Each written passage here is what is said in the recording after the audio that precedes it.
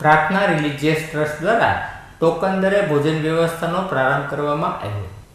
પ્રાર્થના જૈન યુવક મંડળ અને પ્રાર્થના રિલિજિયસ ટ્રસ્ટના સંયુક્ત ઉપક્રમે શ્રી મહાવીર સ્વામીના જન્મ કલ્યાણકના શુભ અવસરે કોરોના પોઝિટિવ દર્દીની સારવારમાં જોડાયેલા તેમના પરિવારજનોને ટોકન દરે ભોજન આપવા માટેની વ્યવસ્થા લોહાણા વિદ્યાર્થી ભવન ખાતે કરવામાં આવી છે.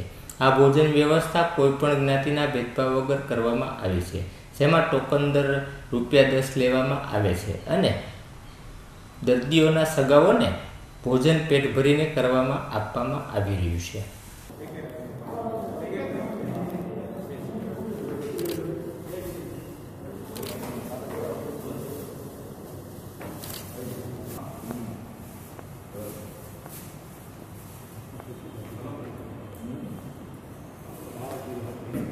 આજે કોરોનાનો મહા પ્રકોપ વધી રહ્યો છે.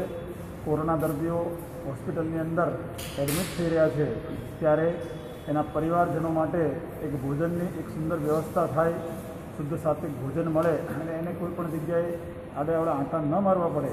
એટલા માટે આજે મહાવીર સ્વામીના જન્મ કલ્યાણક દિવસ નિમિત્તે શ્રી પ્રાર્થના રિલીજિયસ ટ્રસ્ટ દ્વારા ઉપક્રમે, એમના ઉપક્રમે આજે આ ભોજનની વ્યવસ્થા કરવામાં આવી છે. અલગ અલગ દસ બાર જગ્યાએ બેનર પણ મૂક્યા છે અને એને શુદ્ધ સાત્વિક ભોજન મળી રહે.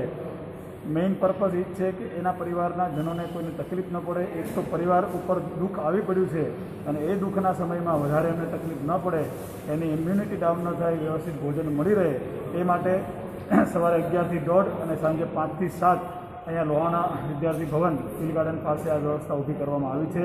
અને એક જ છે કે દરેકને સુખ અને સાતા મળે અને ભોજન વ્યવસ્થિત મળી રહે એવા એક આશયથી એક સમાજલક્ષી આ કાર્ય શરૂ કરેલ છે. તો દરેક જ્યાં સુધી આ મહામારી છે, ભગવાનને પ્રાર્થના કરીએ કે આ મહામારી જલ્દી દૂર થાય, પણ જ્યાં સુધી છે, ત્યાં સુધી ભોજન માટે દરેકને વિનંતી છે, હાથ જોડીને કે અહીંયા લાભ આપજો અને અહીંયાથી વ્યવસ્થિત બધાને પાર્સલ મળી રહેશે.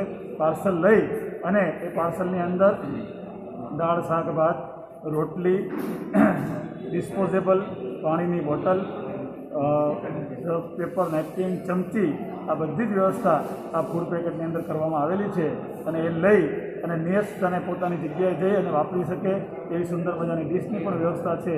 તો આમાં દરેકને લાભ આપવા માટે નમ્ર વિનંતી.